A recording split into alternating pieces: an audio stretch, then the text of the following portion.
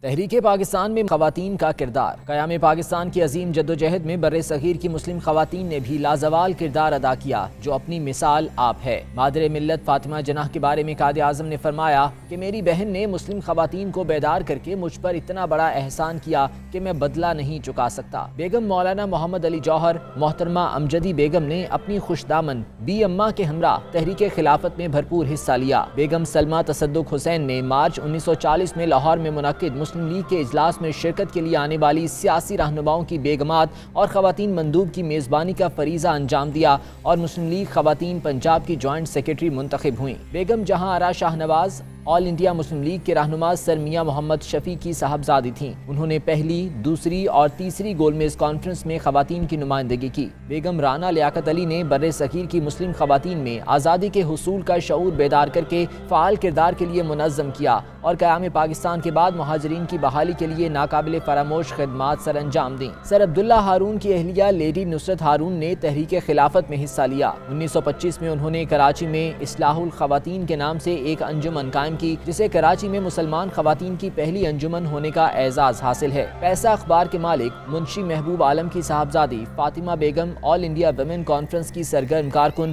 اور مسلم لیگ بمبئی سے وابستہ تھیں۔ وہ اپنے اخبار خاتون میں مسلم لیگ کے نظریات کی اشاعت کرتی۔ انہوں نے قائد اعظم کے حکم پر ملازمت چھوڑ کر لاہور کا رخ کیا اور مسلم لیگ کو مقبول بنانے کے لیے سرگرمی عمل ہو گئیں۔ Begum Shaista Ikramullah all India Muslim League girl students federation کی ناظم مقرر ہوئیں اور طالبات کی اتنی مؤثر تنظیم سازی کی کہ پنجاب اور سرحد میں بھی ان طالبات نے سول نافرمانی کی تحریک میں تاریخی خدمات سر انجام دیں۔